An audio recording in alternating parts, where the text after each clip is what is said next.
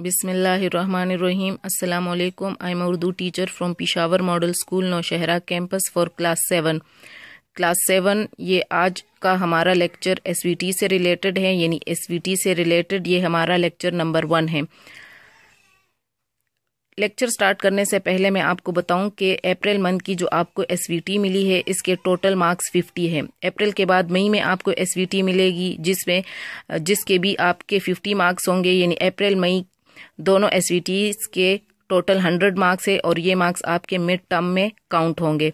तो बच्चों, इन दोनों एस के आपने सारे क्वेश्चन सॉल्व करने हैं, सारे क्वेश्चन करने हैं। अगर कोई नहीं करेगा तो फिर उनके मार्क्स की डिडक्शन होगी। जी बच्चों तो हम अपने लेक्चर का आगाज़ करते हैं और एसवीटी में पहला क्वेश्चन इसको आज हम करेंगे। पहला क्वेश्चन क्या है? पहला क्वेश्चन है, सहेली को खत लिखकर डेंगू वायरस से बचने के लिए एहतियाती तदाबीर तजवीज़ करें। पहला सवाल, जिसमें आपने अपने दोस्त को या अपनी सहेली को खत लिखना है और डेंगू वायरस से बचाव के बारे में एहतियाती तदाबीर बताने हैं। बच्चों, पहले ये याद रखें कि ख़त लिखते हुए पहले तरीके को देखना होता है, क्योंकि नंबर तरीके के होते हैं। जब आपको तरीका आएगा तो मार्क्स कहीं नहीं जाएँगे, यानी फिर आपको मार्क्स मिलेंगे। तो तरीका क्या होता है? तरीका ये है कि आपने राइट साइड पर अज कमरा इम्तिहान लिखना होता है। ठीक है? ये देखें, मैंने आपके लिए ये क्वेश्चन भी लिखा है और इसका सारा जो प्रोसीजर है, जो तरीका है और जो ख़त है, वो मैंने आपकी आसानी के लिए लिखा है। तो पहले आपने अज कमरा इम्तिहान लिखना होता है, क्योंकि आप स्टूडेंट्स हो तो इसलिए अस कमरे इम्तिहान लिखना है। और अगर स्टूडेंट्स नहीं होते तो फिर आप आ, मसलन अज नौशहरा कैंट लिख सकते थे। ठीक है? यानी अज नौशहरा कैंट फिर आप लिख सकते थे या कुछ भी लिख सकते थे। या फिर इस तरह भी कि अज Peshawar model Peshawar model school Nowshera branch लिख सकते थे फिर। लेकिन चूँकि आप स्टूडेंट हो तो आप लिखोगे अज कमरा इम्तिहान। फिर आपने डेट लिखनी होती है। ये देखें फिर आपने डेट लिखनी होती है। जैसे कि आज तेरह अप्रैल है तो आप यही डेट लिखोगे, तेरह अप्रैल 2020 ये देखें, तेरह अप्रैल 2020 इसके बाद प्यारे दोस्त लिखना होता है। ये देखें, इसके बाद आपने क्या लिखना है? प्यारे दोस्त। अगर आप अपने से किसी बड़े को ख़त लिख रहे हैं, फिर आपने प्यारे लफ्ज़ का इस्तेमाल नहीं करना ठीक है? प्यारे या प्यारी का लफ्ज़ इस्तेमाल नहीं करेंगे फिर आप मोहतरम का लफ्ज़ इस्तेमाल करते हैं। क्योंकि ये ख़त आपने अपनी दोस्त को या अपनी सहेली को लिखना है तो इसलिए आप प्यारी दोस्त या प्यारे दोस्त लिखोगे। ठीक है? इसके बाद आपने फिर सलाम लिखना है।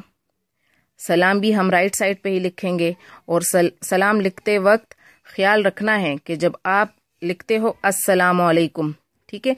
तो इसमें हम वो का इस्तेमाल नहीं करेंगे। बास टाइम जो है कुछ बच्चे इसमें वो लिखते हैं। तो ये गलत है, यानी इसमें वो नहीं आता। अगर कोई भी बच्चा इसमें वो लिखता है तो यहाँ से मार्क्स की डिडक्शन शुरू हो जाती है। ठीक है? तो आप लिखोगे अस्सलाम वालेकुम और इसमें वाव नहीं आता। इसके बाद फिर आपका ये खत जो है ये शुरू हो जाता है। बच्चों, ये भी याद रखें कि खत तीन पैराग्राफ पर मुश्तमिल होता है।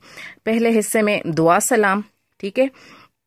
फिर दूसरे हिस्से में जिस बारे में आप खत लिख रहे होते हैं जो मेन पॉइंट है वो, यानी जिसके बारे में आपने खत लिखना है। फिर तीसरे हिस्से में क्या है? यानी उसके आखिरी हिस्से में, उसके आखिरी हिस्से में हम वह सलाम या खुदा हाफिज वगैरह लिखते हैं, ठीक है?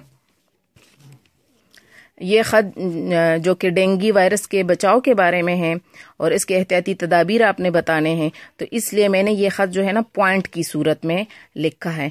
वैसे ख़त तीन पैराग्राफ पर मुश्तमिल होता है। बच्चों, अगर आपसे आपको, आपसे एम सी क्यूज़ में पूछा जाए या इम्तिहान में ये क्वेश्चन आ गया कि ख़त कितने पैराग्राफ पर मुश्तमिल होता है या ख़त के कितने पैराग्राफ होते हैं तो फिर आपने लिखना होगा कि ख़त के तीन पैराग्राफ होते हैं, ठीक है? और ये बात भी जहन में रखें।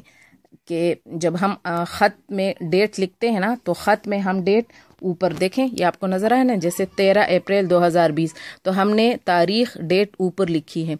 जबकि इसके बरअक्स दरख्वास्त में हम क्या करते हैं कि दरख्वास्त में फिर हम तारीख़ एंड में लिखते हैं, यानी आखिर में तारीख़ एंड में लिखते हैं डेट आखिर में हम लिखते हैं, ठीक है?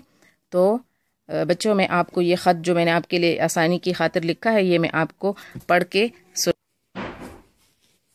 तो ये ख़त मैं आपको पढ़ के भी सुना देती हूँ। जैसे स्टार्ट में मैंने लिखा है, अज कमरे इम्तहान तेरह अप्रैल 2020 प्यारी दोस्त और हरफ नदाइया भी है, ये भी ज़रूरी है। अगर ये ना लगाएँ तो फिर मार्क्स की डिडक्शन होती है। इसके बाद, अस्सलाम वालेकुम यहाँ पर भी हरफ नदाइया फिर हमारा ख़त स्टार्ट होता है। उम्मीद है कि आप सब घर वाले खैरियत से होंगे। मेरी प्यारी दोस्त, आज आपका ख़त मिला, जिसमें आपने डेंगी के बारे में कहा है कि हमारे इलाके में डेंगी बहुत ज़्यादा है। प्यारी दोस्त, यहाँ देखे, प्यारी दोस्त, हरफ निदाइया, डेंगी से बच कर रहना, क्योंकि ये ख़तरनाक है। मैं आज आपको डेंगी से बचने की चंद तदाबीर बता रही हूँ, उस पर अमल करके उस पर अमल करना, ताकि तुम सब बच सको।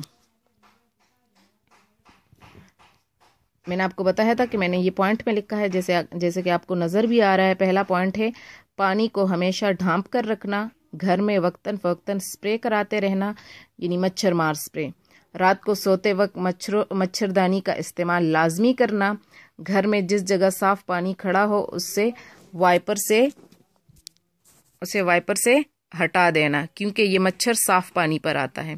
दर्जेल बला तदाबीर पर अमल करते रहना, ताकि डेंगी से बचे रहो। मेरी तरफ़ से सब घर वालों को सलाम कहना वसलाम तुम्हारी दोस्त, या तुम्हारी दुआ गो दोस्त। अलिफ बाजीम अलिफ बाजीम इसलिए कि जब हम कमरे इम्तहान में या एग्ज़ामिनेशन हॉल में ख़त लिख रहे होते हैं तो ड्यूरिंग ड्यूरिंग एग्ज़ाम हम नाम मेंशन नहीं करते, अपना नाम नहीं लिखते, ठीक है? इसलिए मैंने यहाँ पे अलिफ बा जीम लिखा है। तो आज का लेक्चर हमारा यही तक था और यहाँ यहाँ तक था और मैं उम्मीद करती हूँ कि आपको ये लेक्चर अच्छी तरह से समझ आ गया होगा। हमारे इस यूट्यूब चैनल को सब्सक्राइब करें ताकि आपको क्लास सेवन के मज़ीद लेक्चर मिल सके। Thank you, take